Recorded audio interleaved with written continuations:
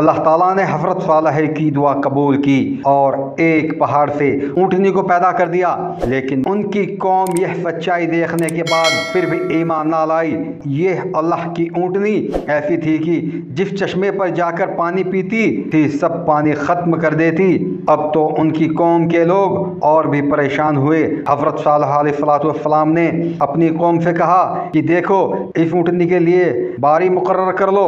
एक रोज़ तुम्हारे जानवर चश्मे से पानी पियेंगे और एक रोज़ ऊँटनी पिएगी। लेकिन देखो, इसको बुरी नीयत से हाथ ना लगाना, यानी इसको तकलीफ़ ना पहुंचाना, वरना तुम्हारे हक में अच्छा ना होगा। कुछ रोज तक तो वह ऊँटनी को हैरत से देखते रहे। आखिरी उनकी कौम के चंद लोगों ने मशवरा करके ऊँटनी को मार डाला। हज़रत सलाम को इसकी खबर हुई तो आपको बहुत रंज हुआ।